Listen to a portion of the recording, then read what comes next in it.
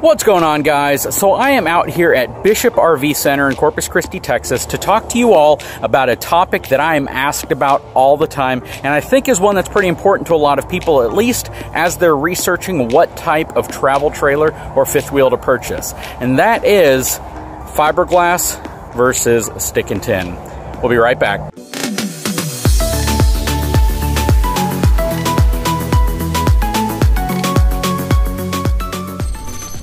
All right, so when you are shopping for a new travel trailer, fifth wheel RV, probably one of the first things that you are looking for, especially if you're new to it, is do I purchase a unit that has this smooth fiberglass sidewall over an aluminum frame, or do I purchase a unit that has aluminum siding over a wood frame? And people really ask themselves that question because obviously there's going to be a difference in how they're constructed.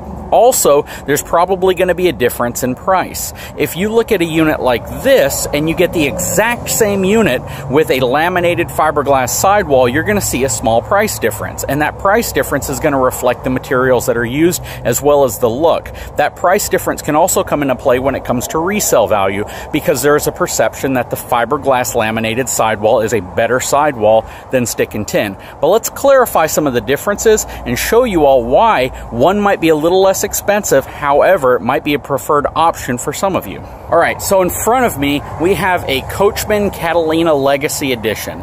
This is a traditional stick and tin, which means it has a steel frame with a wooden plywood floor system, and it has a wooden floor above it in certain areas, such as in this storage area right here.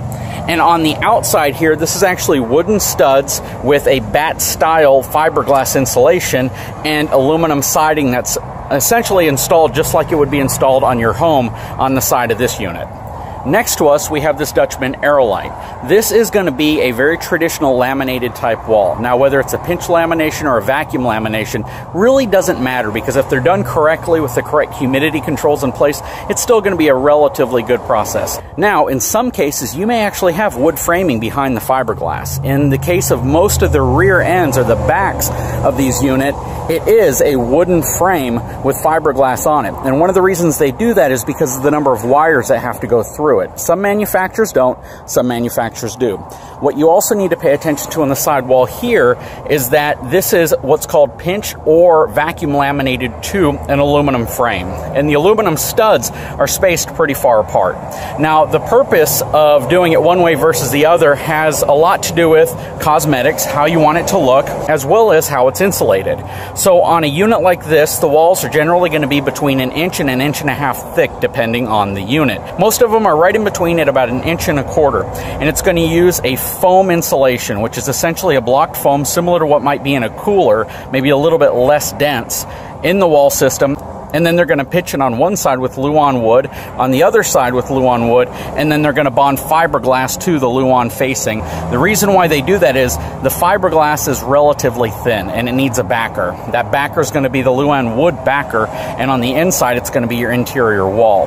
Now, it's not a bad form of construction. This is a very, very common form of construction for most travel trailers and fifth wheels, but it is different, of course, than stick and tin.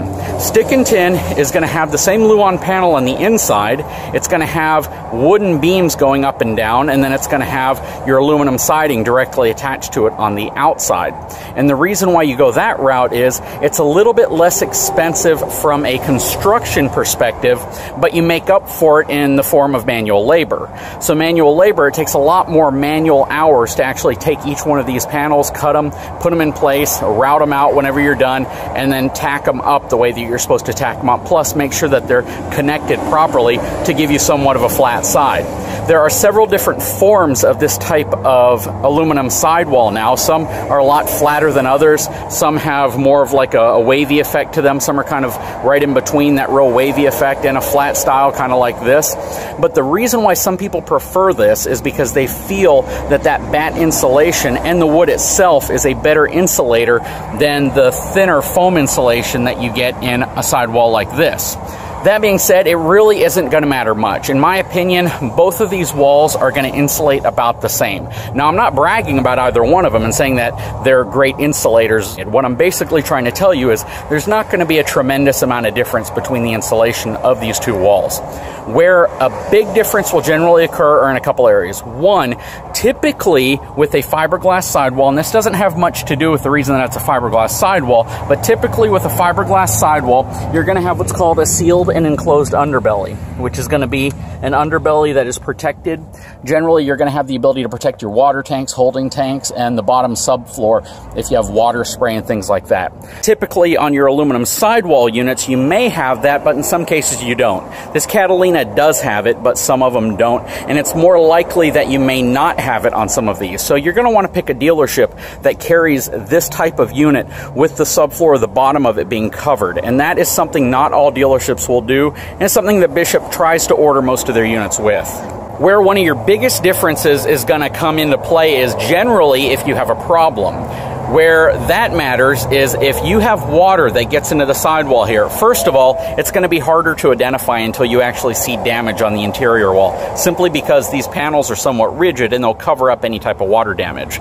But most importantly, it's going to be far, far easier to repair a sidewall like that that gets damaged from water intrusion versus a fiberglass sidewall. With something like this, you're going to have to remove and cut out a large portion, fix the damage, and then glue it back. Or in some cases, you can access it from the inside by cutting out your panel, installing new backer boards, and then re-gluing this down. Either way, though, it's generally not going to look factory new. Whereas you can make one of these look brand new, even if you've had some type of a major water issue. And because the structure of it is primarily wood, it's a lot easier to work on. Even, you know, some do-it-at-home people have been able to fix some of these to make them look really good again. But that is a big difference. The second big difference is the fact that because this is an aluminum sidewall, it's going to have less UV interference. You're not going to have to worry about the sun impacting it as much. Even if it destroys the graphics or they start to fade, you can generally salvage it in some way. You can put new graphics on, you can do a lot of things to make it look nice again. On a fiberglass unit, you can't. Now, as long as you maintain a fiberglass walled unit and you do a good job taking care of it, and you look for areas that could potentially cause delamination or water getting into the wall system, this is a really nice product to have. It looks nicer, it looks more sophisticated, it looks fancier, it makes your RV look more expensive. It's definitely nice in terms of having a smooth appeal, and cosmetics mean a lot to a lot of people buying RVs. Also, you're going to pay a little bit more, and it's likely to have a few more amenities as options simply because it is considered a slightly more expensive unit. Even though you can pretty much get any stick and tin style floor plan and fiberglass floor plan in the same floor plan. So I wouldn't really say there's going to be a big difference in terms of what's available from a floor plan perspective between a fiberglass walled unit and a stick and tin unit.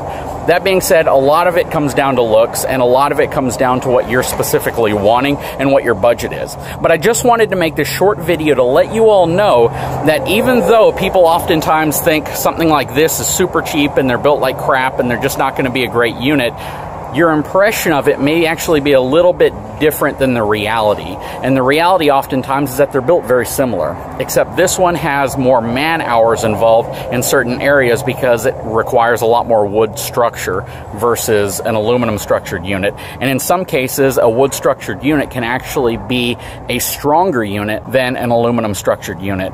Also, you can save some money in some cases on these, and it's also something that's easy to repair. So when you look at all the pros and cons between the two, it's definitely worth being educated on. I will tell you from day one, I've had the same message about both types of units, and nothing's changed. I don't think these are bad. I don't think they're junk compared to something like this, and I do think they do make great starter units for people who might be on a budget. And that's going to be important to a lot of people getting into RVing because if price is your barrier to getting into RVing, then you're not enjoying it. And the last thing I want is for someone to say, hey, that's automatically junk just because people say it is, or because people assume it is, or people saw some video about how quickly these things are manufactured, and they avoid getting something that could get their family out there enjoying the outdoors, enjoying the RV lifestyle, and building memories. Anyways, guys, I hope you enjoyed this video. If you haven't had a chance, please take a moment, subscribe to my channel, give me a thumbs up. We'll talk to you again very soon.